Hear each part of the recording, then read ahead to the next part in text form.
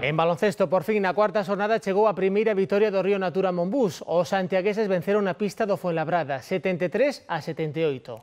Clave no triunfo, unha maior contribución ofensiva no equipo e unha mellora no aspecto defensivo. Por como comezou o partido, poucos pensaban na primeira victoria da temporada do Río Natura Monbús. Un feixe de desaxustes e un acerto brutal desde a liña de 3 de Fuenlabrada, 6 de 7, permitían os madrileños pechar o primeiro cuarto cun 28-23 a súa prol.